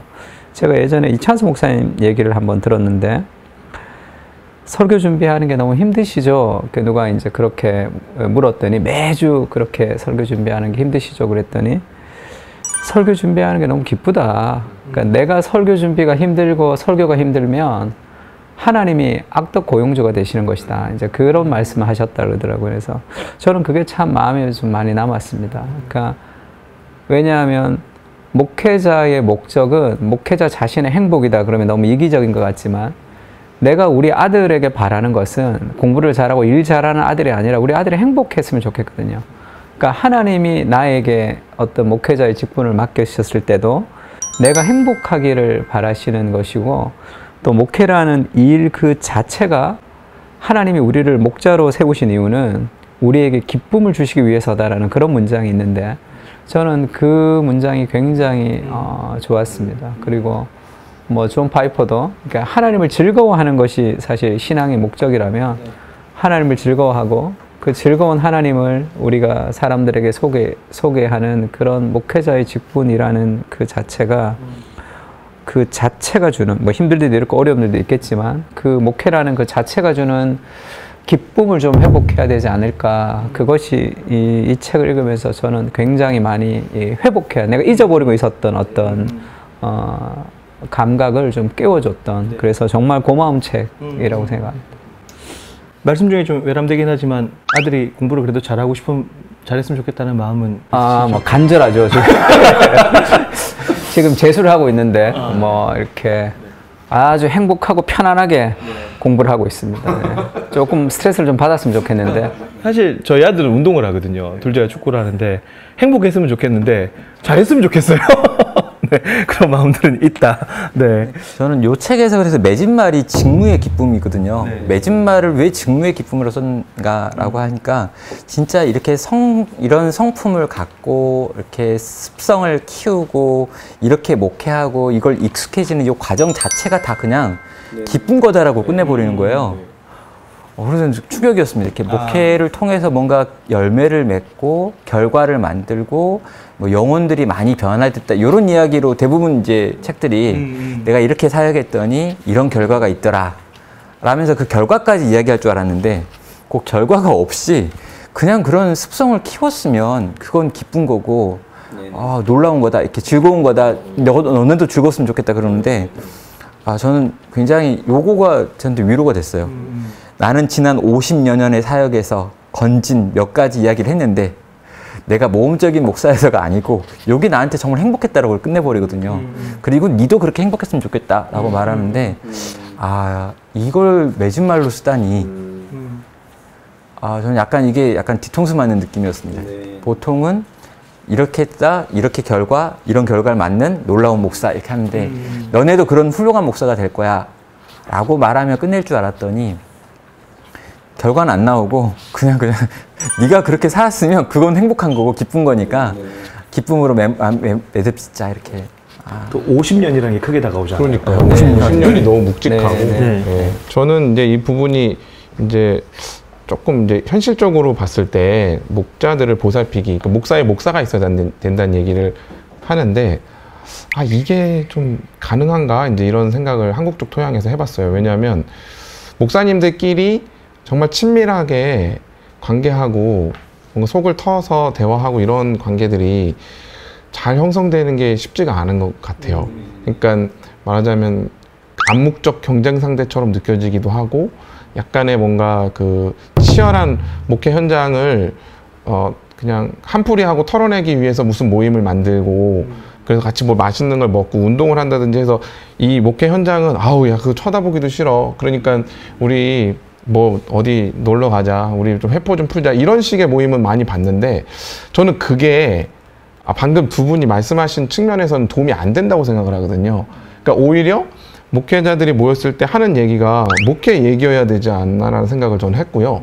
그러면서 그거를 어렵지만 해나가는 것 자체에 기쁨이 있고 즐거워라는 게좀 좀 라포 형성이 됐으면 좋겠는데 지금 한국 교회가 가지고 있는 토양 안에서 저는 잘 뭐 목회자들이 어떤 모임들을 갖고 있는지 제가 다 객관적으로 파악하고 있는 건 아니지만 뭔가 어 하나는 목회가 너무 힘드니까 우리끼리 좀 위로하자. 그 다음에 하나는 뭔가 고국적인 모임들이 많아요. 그러니까 뭔가 그 담론이 커요. 그래서 뭐 어, 우리가 모여서 뭐 이렇게 해보자. 뭐 다음 세대를 위해서 약간 그래서 저는 그거 다 떼고 그냥 우리가 목사가 된 이 직무를 수행하는 것 자체를 기뻐하고 즐거워하는 사람들이 모여서 그걸 독려하고 그걸 공감하고 서로 나누는 그런 모임이 있으면 좋겠다는 생각이 저는 많이 들어서 그런 모임이 되게 갈급한 거예요, 저는. 왜냐하면 담임 목사가 돼 보니까 실제로 되게 외롭더라고요. 어떤 부분에서. 이번 주도 사실은 저희 이제 기관별 모임이었는데 예배를 끝나고 나면 점심 식사를 기관별로 해요. 남전도 여전도 이렇게 하는데 부르지 않으면 사실 가기가 좀 그래요.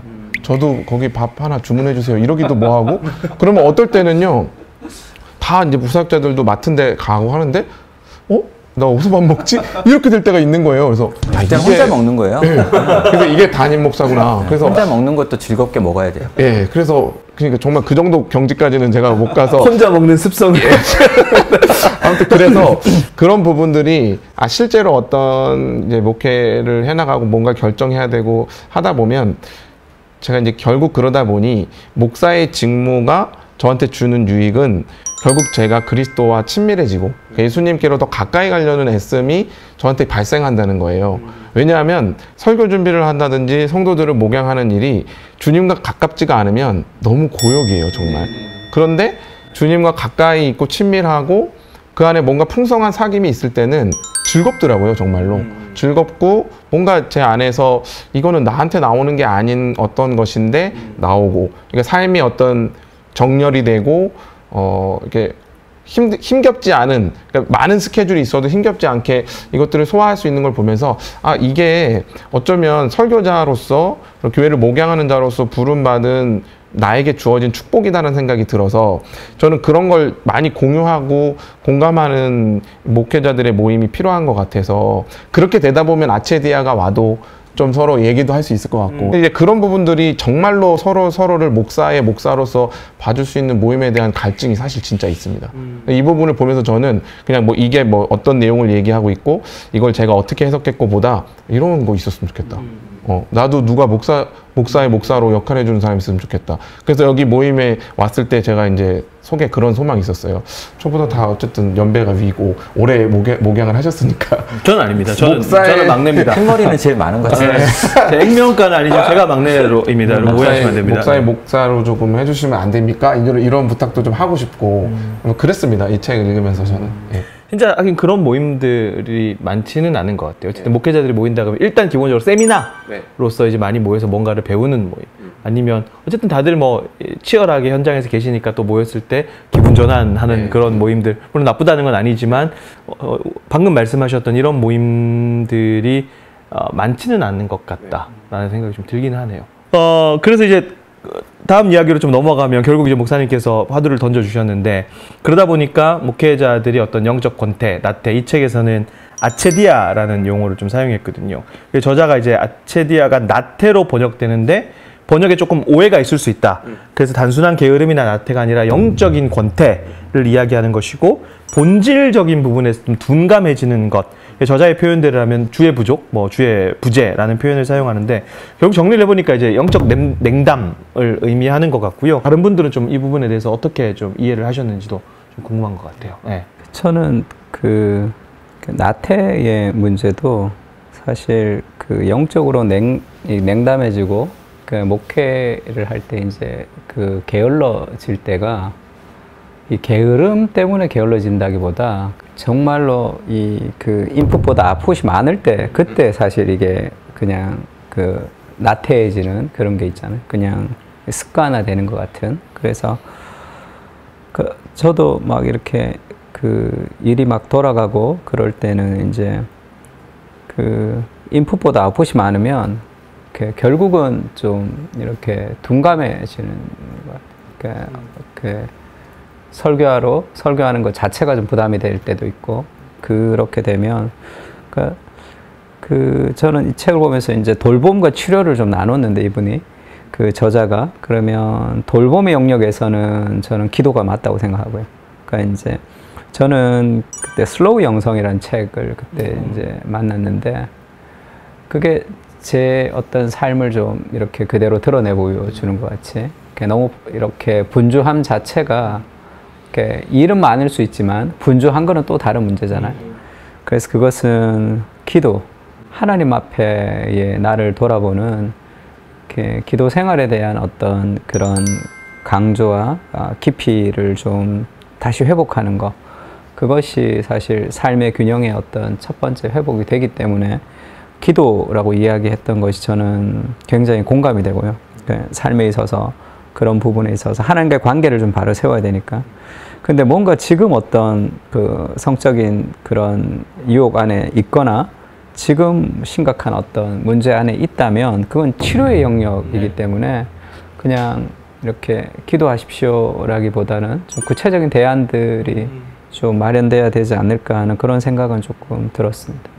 그러니까 저도 이제 본질적으로 모든 문제의 근원은 하나님과의 관계의 문제다라고 하는 거죠. 그러니까 하나님과의 관계 안에서 하나님으로부터 냉담함이라고 하는 정서가 생기면 그 결과가 이제 쭉 나타나는 거기 때문에 하나님과 다시 친밀해지면 나머지 모든 부정적 결과들도 해결된다라는 게이 책의 어떤 네. 강조점이었던 것 같아요.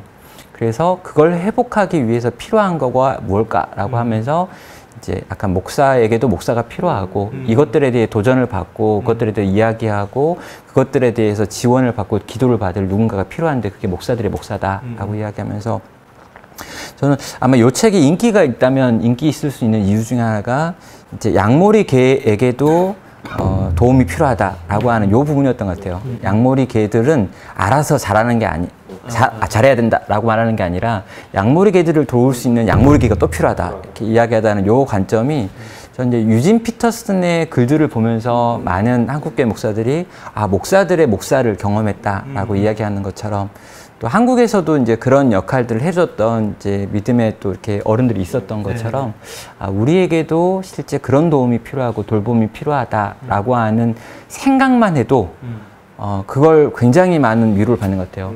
그래서 아 목사들도 신방이 필요한 존재다. 어, 목회자 가정도 어, 신방의 대상이다. 그래서 이렇게 힘들고 어렵고 침체에 빠져 있을 때 누군가가 찾아와서 같이 이야기해 주는 거, 상담해 주는 거, 들어주는 거, 기도해 주는 거.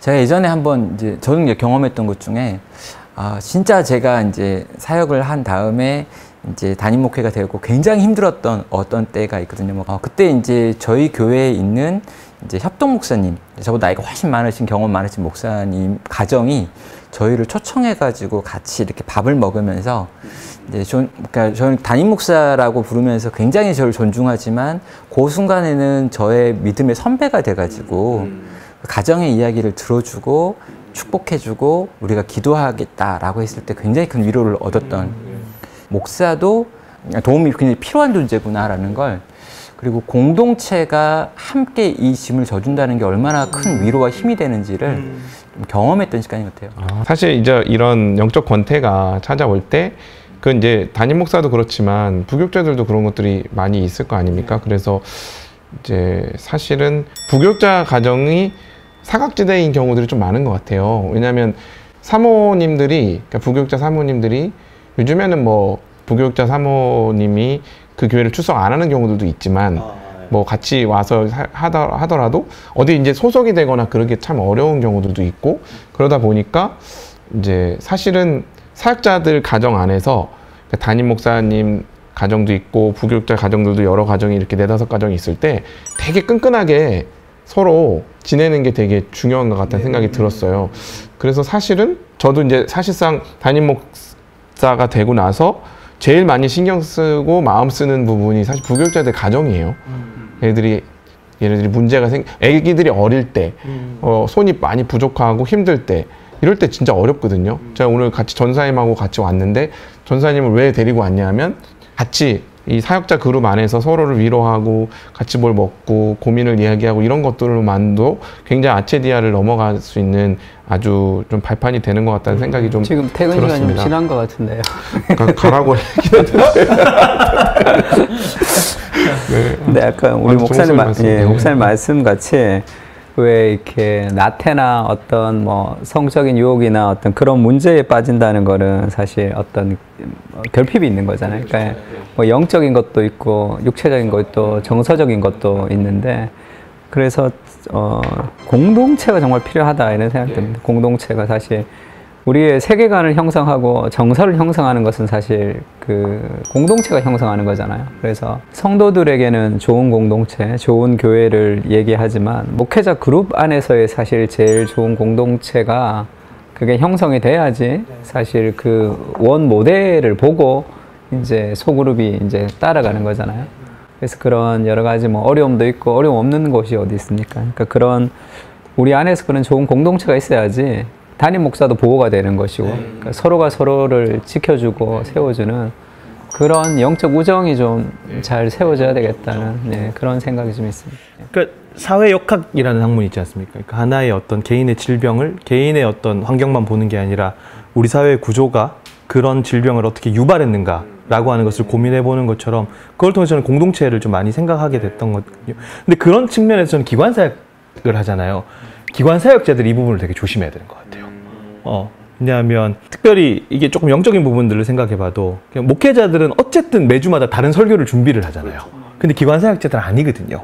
그리고 특별히 어느 전문성을 가지고 있는 그 부분에 강의를 하는 사람들이라면 매주 그 내용이 바뀌진 않거든요. 그러니까 내가 노력을 하지 않으면 5년, 10년, 15년이 지나도 보약이에요. 똑같은 걸 계속 우려먹는 거죠.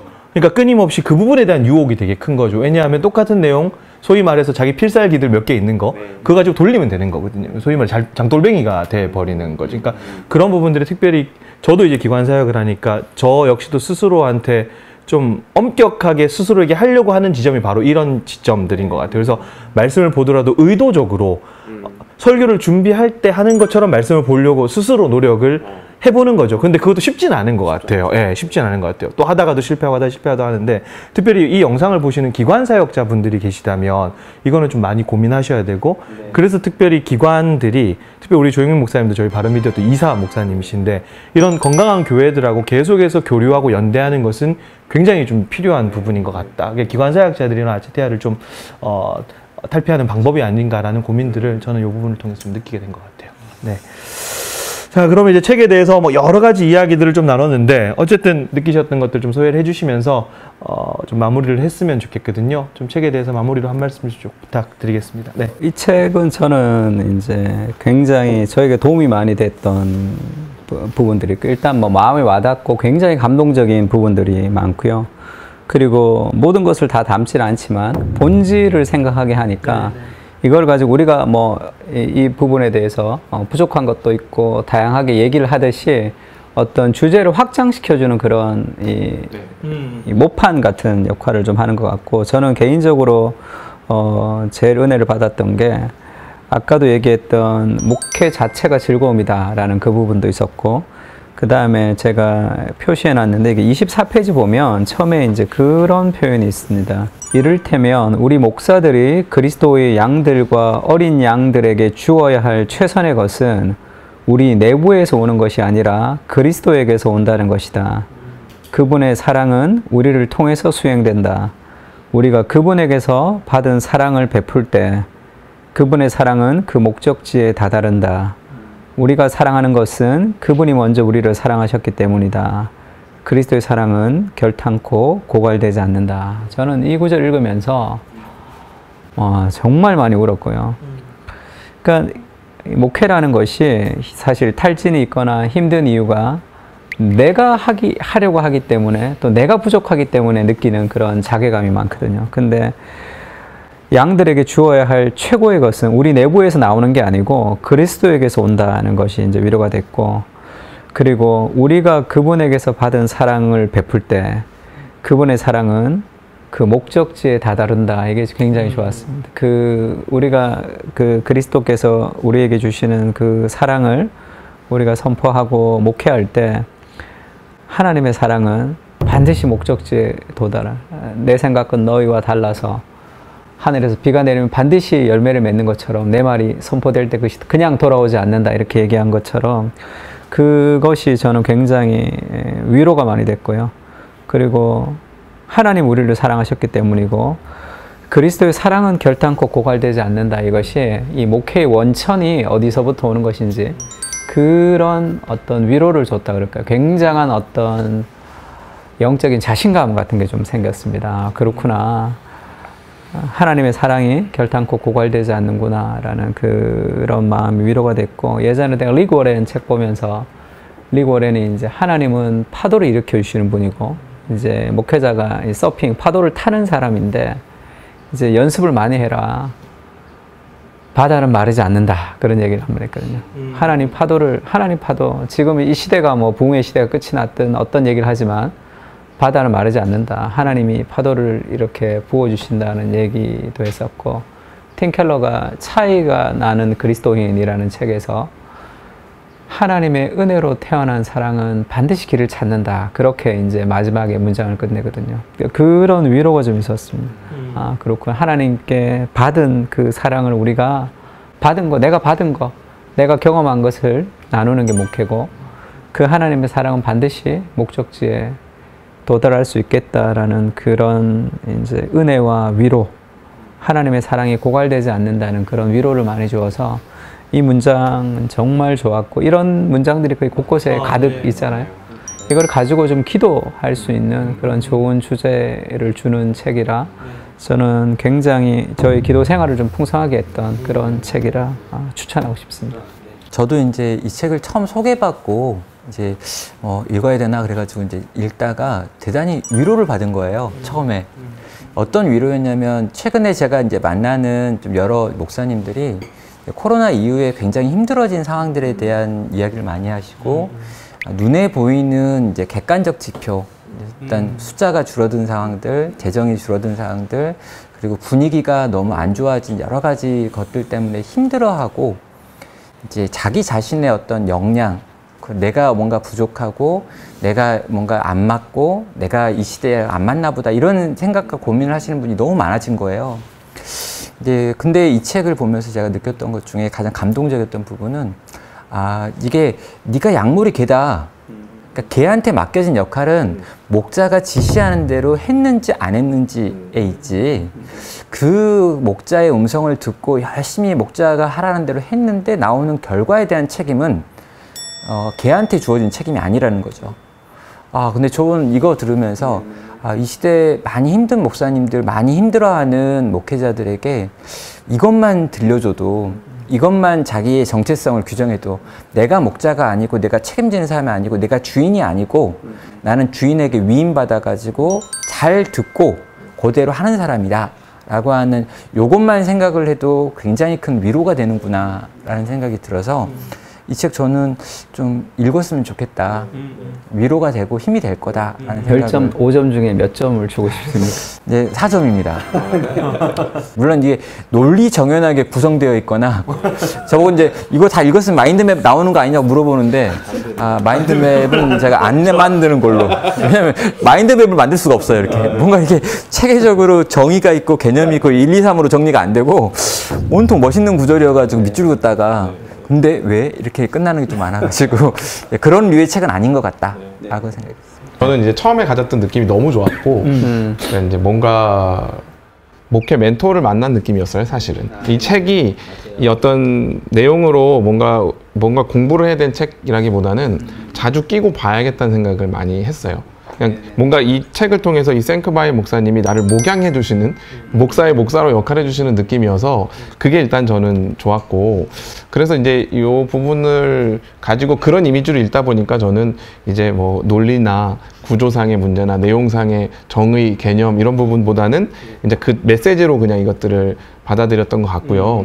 저는 이제 제일 좋았던 부분이 어, 보통은 어떤 책을 읽으면 그 사람이 궁금해지거든요. 생크바일이 궁금해지고 이 사람이 어떤 사람이고 무슨 책을 썼지 어떤 목회를 했지 이게 궁금해야 되는데 되게 오랜만에 이 책을 읽는데 더 주님과 가까워지고 싶다는 생각이 많이 들었어요. 그러니까 그리스 이 안에 보면 하나님께서 감추어진 일을 밝혀내고 그 비밀을 드러내는 것이 이 개로 목자로 부름받은 그러니까 목사로 부름받은 직의 아주 기쁨이고 어, 그게 소중함이라고 얘기를 하는데 그 직으로 부름받은 것이 되게 오랜만에 감사하다. 그러니까 목사 되기 잘했다라는 생각이 드는 책이어서, 그러니까 저의 직에 대한 이 뭐 현실적으로 적용이 어떻고 저떻고의 문제보다는 저의 직에 대한 스스로의 존중감, 어, 그 다음에 자아의 이제 건강하게 목사상에 대한 부분들을 좀 자리 잡게 하는 책이어서 뭐 리처드 백스터의 목사 참목자상이나 아니면 뭐 그 스펄전의 여- 영혼의 지킴이 뭐 이런 책들 많이 있는데 좀 무섭거든요. 그걸 읽으면 약간 이것대로 나 목사하지 말아야겠구나라는 생각이 들었는데 이거는 목사하길 잘했다라는 책, 그 생각이 들게 해주는 책이어서 그런 부분이 저한테는 좋았고 그래서 좀 책상에 항상 이렇게 두고 한 번씩 꺼내 읽으면서 줄친 부분 다시 보고 다시 마음에 아까 우리 공목사님 말씀하신 것처럼 기도 다시 기도를 기도를 좀 풍성하게 만들고 묵상을 풍성하게 만드는 요소로 좀 이렇게 가지고 어, 계속 좀 지켜봐야겠다 이 책을 이런 생각이 들었던 책입니다. 네. 요런 유형의 책이 마- 최근에 많지는 않았던 것 같아요. 네, 책이 많지 않았던 것 같고. 어쨌든 우리 오늘 이 책 가지고 여러 가지 이야기를 나눴지만 대목자가 계시고 양떼가 있는데 그 사이에서 이제 개라고 자꾸 표현하는데 목양견이라고 표현하겠습니다. 목양견. 어, 우리가 어떻게 서 있는가, 우리를 좀 점검하게 되고 또 우리가 어디로 가고 있는가, 나는 지금 무엇을 하고 있는가 이런 것들을 끊임없이 좀 생각해 보게 하는 책. 그래서 목자, 개, 양떼 여기 계신 분들과 추천하면서 오늘 영상 마무리 짓도록 하겠습니다. 어, 장시간 말씀들 나눠주신다고 감사하고요. 어, 오늘 이 영상이 또 이 영상을 보는 분들에게 좀 유익이 되셨으면 좋겠고 또 출판사 책도 좀 팔렸으면 좋겠다 어, 라고 하는 마음 전해드리면서 오늘 여기서 마무리 짓도록 하겠습니다. 감사합니다. 감사합니다. 감사합니다. 감사합니다.